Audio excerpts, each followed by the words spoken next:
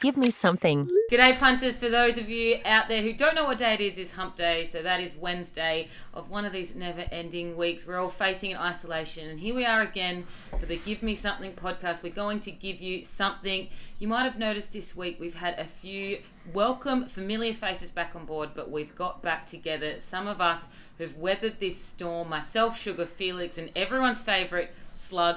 I'm actually weathering a storm here in Perth at the moment. I've been bragging about our weather for the past month where you people over east have been dealing with horrific weather. I'm now here doing this in the dark. That's how committed I am to giving you something. But we'll start with you, Sugar. We'll start, how are you? How is it over there? Oh, fantastic, actually, Georgie. The sun is Yep. beaming through here in my little man cave. But you know what I was just thinking as I raise my mug to you fellow mugs? Um, I just, can you imagine, the, the podcast is flying, give me something, and we are giving the punters something every single day. But just imagine, we're recording here in the morning, just imagine if we moved it to an afternoon shift and all of a sudden the mud got replaced with a few little sherbets. Oh, wou- wouldn't that make for an enlightened podcast?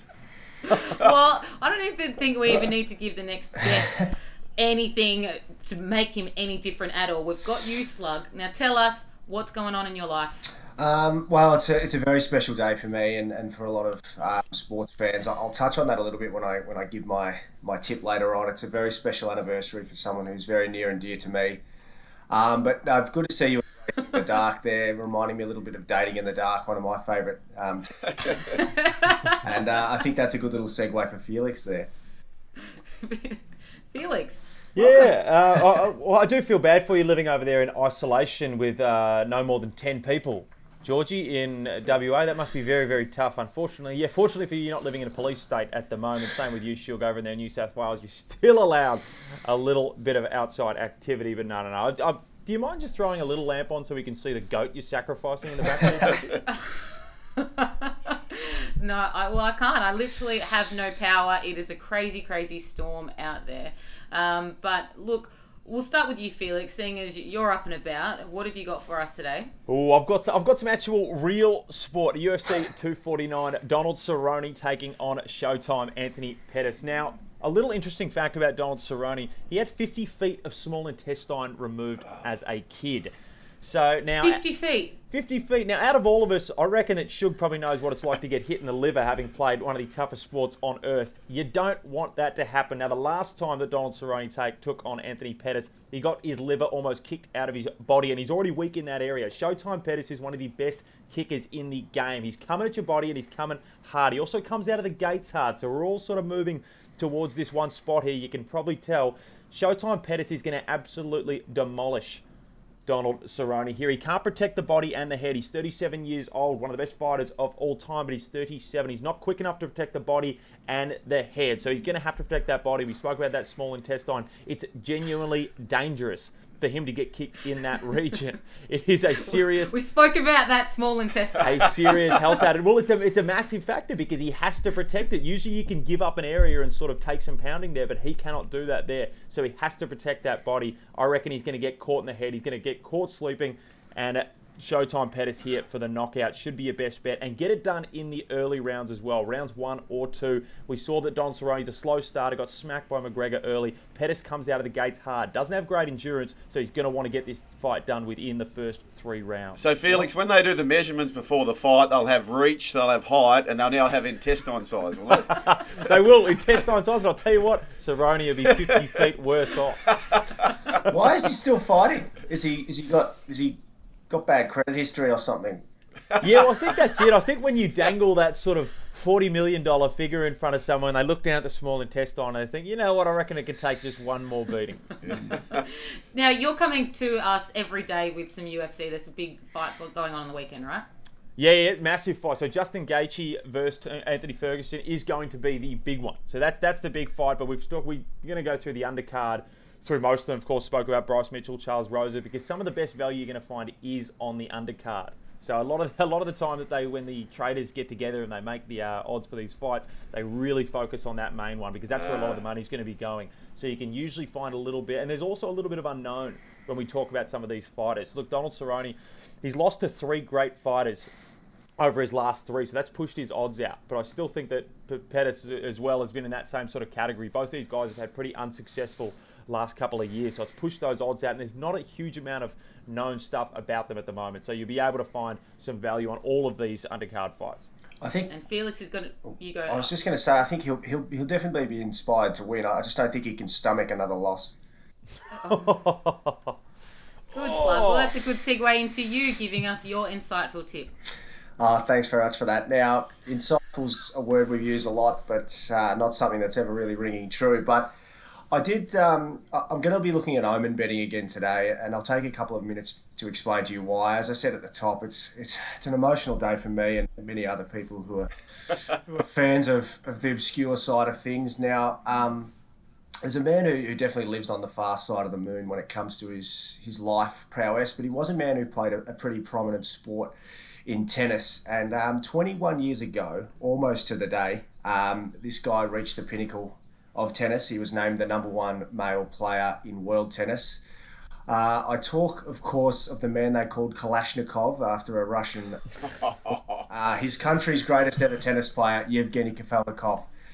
He is an idol of mine. He's a, he's a man that led me to fall in love with the Russian sports people uh, and indeed their culture. So, for those who aren't aware of Yevgeny's exploits, firstly, reassess where you're at. But secondly, jump onto Google or, Wikipedia or TikTok or whatever it is you're using these days. some some career highlights from the dual Grand Slam winner. Um, he was unbelievable, unbeatable, just all over the court, just stuck in, just a true Russian stoic uh, man in that area. So a few highlights from him. He was the French Open champion in '96 and the Australian Open champion in 1999. He's the last man to have won singles and doubles titles at the same Grand Slam. So that was in the French Open in '96. So that's never going to be done again. He won the Olympic gold medal in Sydney in 2000. Georgie, I know you've been to the Olympics, so yeah. you can say how special that is. I didn't know you guys knew that. you told us. Enough. I I read it somewhere online. Um, but finally, I think the thing that really stands out about Yevgeny, and uh, it's important to talk about this on his anniversary, is he's a man who hasn't been uh, afraid uh, to be critical of, of leader Vladimir Putin and the rest of his Kremlin cronies in Moscow. So he's been having a dig at, at Putin for a few years, and as we know, it's not just like bagging out ScoMo for his you know holidays to Hawaii. It's pretty serious stuff um, when you start dabbling in those areas. So, with that being said, um, later on today we have uh, Serp i Molot taking on Kingstown in the Russian ice hockey. So as we all know, Serp i Molot uh, means hammer and sickle in Russian. And I think today, Yevgeny's, we're going to see people rise with hammer and sickle and sack Kingstown, which in this scenario is Moscow. Serp i Molot are paying $2, and if you need any more reasons than that uh, to bet on them, I think Russian ice hockey isn't for you. And I'm looking forward to our video guy Harley, who said, "Can you guys keep it short yeah, for video purposes?"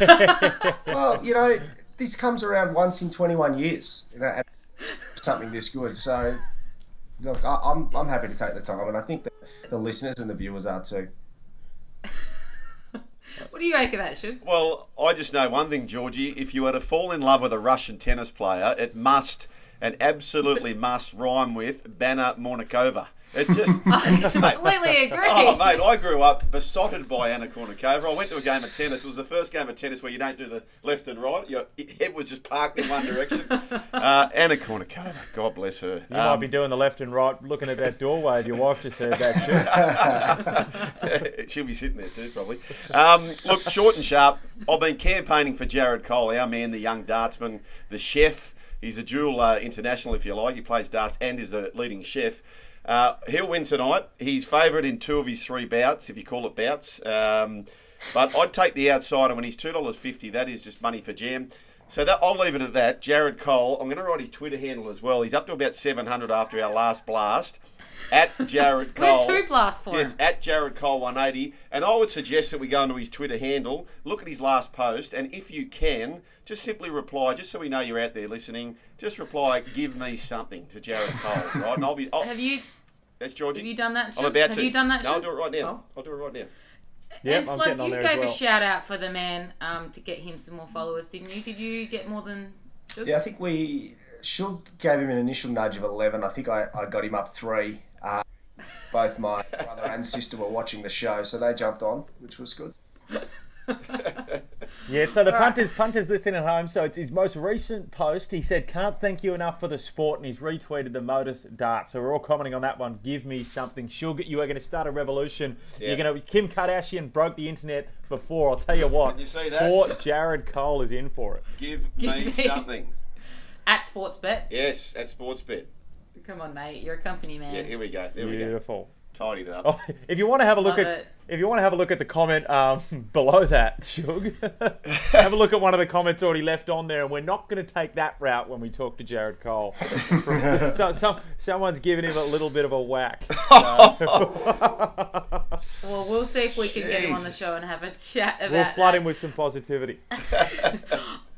Now, I'll briefly touch on some novelty markets just to be quick, just to let you punters know what's out there. Of course, the weather's always out that uh, out there. Um, I'll be looking at the overs for Perth. I think that it sometimes it looks like it's going to be colder, but it's actually quite warm with the cloud cover. ScoMo's tie went off yesterday. The gold payout. Now, I've been spruiking yellow and gold every time I've spoken about that. That was paying five bucks at the end of trading there, so check that out. Silver and blue, the clear two favourites for the guy. He must think it looks good on his colour palette.